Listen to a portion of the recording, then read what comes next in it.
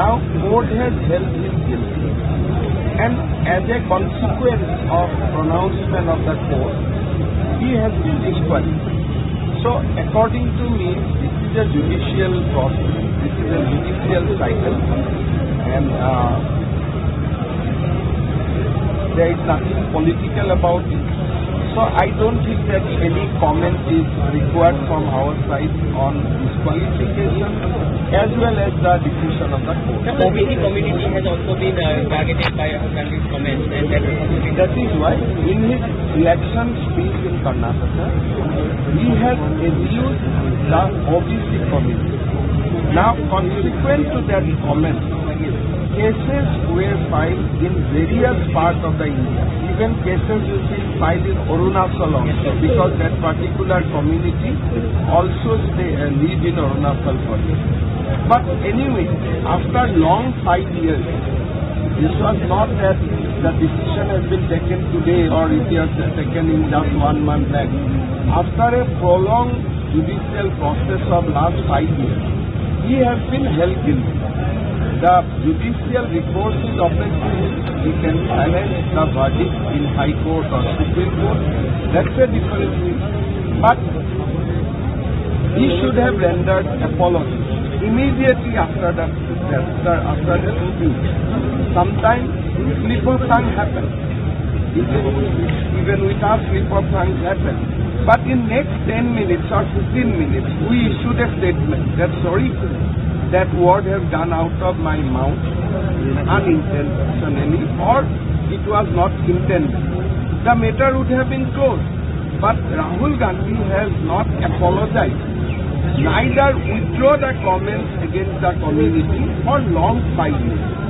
So that once again goes to prove that comments were not unintentional. The comments were intentional and it was meant to abuse the OBC community of the country.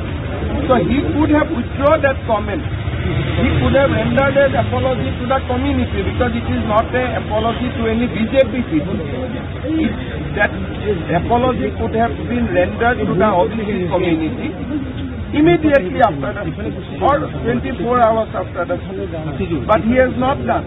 He behaved arrogantly. You have to, the court has to balance the arrogancy of an individual and pride and prestige of the OBC community. So court has to strike the balance. And court has strike the balance in favor of the OBC community vis-a-vis the arrogance of an individual. कभी कभी हम रा, हम राजनीति करता हूँ speech में कभी कभी दो एक सब गलत निकल सकता है वो कोई बड़ा बात नहीं होता है। लेकिन इमीडिएटली आफ्टर द स्पीच या तो मेरा पार्टी का लोग बता देता है कि दादा आपका मुँह से गलत निकल गया या मेरा ही अपना एक अनुभव होता है मैं ये बोलना नहीं चाहिए था। सो so, मैं क्या करता हूँ इमीडिएटली हम एक प्रेस रिलीज़ इशू करता हूँ। या खुद मीडिया का सामने आके बोलता हूँ भाई ये नहीं मुझको नहीं बोलना चाहिए था। पाँच साल राहुल गांधी जी ने किसी को अपोलॉजी नहीं किया। ये अपोलॉजी नरेंद्र मोदी के जी के लिए नहीं था। ये- अपोलॉजी ड्यू था सारे ओबीसी कम्युनिटी के लिए। तो आज भी आप देखिए, कोर्ट भार्डिक का बाद भी तो अपोलॉजी नहीं है। कोर्ट भार्डिक का बाद भी ऐसे लड़ाकू विमान होके बैठा हुआ है कि भाई, हम जुडिशियरी से ही फाइट कर लूँगा। भाई, ये कोई व्यक्तिगत जुड़ नहीं है। आपने अगर कोई कम्युनिटी का खिलाफ बोलता है तो कम्युनिटी का तो लोगों का, अगर आपका कोई, आप सोचता है कि आपका प्राइड है, आपका प्रेस्टीज है, आपका अहंकार है तो हमारे देश का ओबीसी कम्युनिटी का भी तो अहंकार है। उनका भी तो अस्मिता है। तो ये बात सबको देखना पड़ेगा और इसमें कोई राजनीति नहीं है। कांग्रेस कांग्रेस कांग्रेस दल में जो ओबीसी कम्युनिटी का नेता है आप उनको जाके व्यक्तिगत बात कीजिए। क्या वो लोग खुश है? कौन खुश होगा? अभी स्टेटमेंट देना अलग बात है। पर कोई किसी को अच्छा लगेगा कि पूरा कम्युनिटी शोर है, बोल देने कि कोई ओबीसी है। क्या आप लोग को अच्छा लगा था उस समय जब बोल दिया था कि आपका सारे हर शोर क्यों ओबीसी होता है या जो भी कम्युनिटी का नाम लिया है? मैं लेना नहीं चाहता हूँ। तो ये तो एक इंडिविजुअल व्यक्ति का अहंकार और एक सारे कम्युनिटी का अस्मिता, ये दोनों का ऊपर देखना है। इसमें जुडिशियरी ने अच्छा किया है। अगर जुडिशियरी का डिसीज़न आपको ठीक नहीं लगे तो आप जाइए ऊपर ही ऊपर कोर्ट में जहाँ तक डिस्कालिफिकेशन का बात था। जो ऑर्डिनेंस लाया गया था कि तुरंत डिस्कालिफिकेशन ना हो वो तो राहुल गांधी खुद ही तोड़ दिया है। If karma strike him back तो उसमें हमारा क्या गलती है?